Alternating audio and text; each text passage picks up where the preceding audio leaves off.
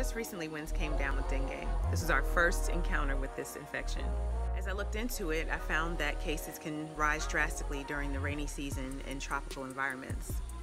We decided to deal with it naturally, and the first cure we found was in our backyard.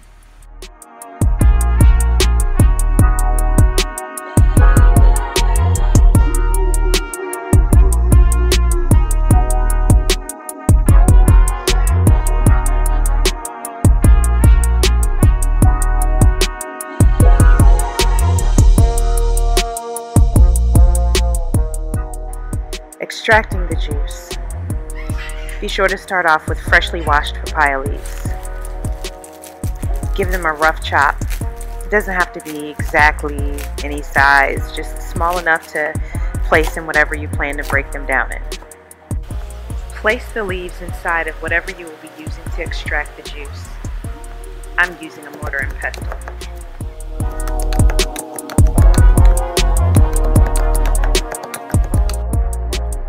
Don't try to put all of the leaves in at once.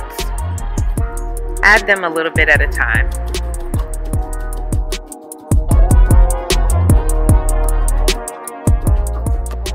Once the plant material is all broken up, add a small amount of water and continue to macerate it.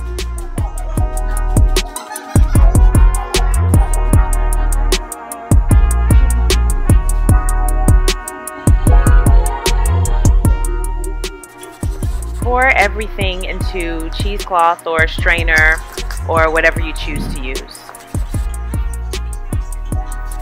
I like to place my piece of cheesecloth over top of the bowl and then pour everything into it.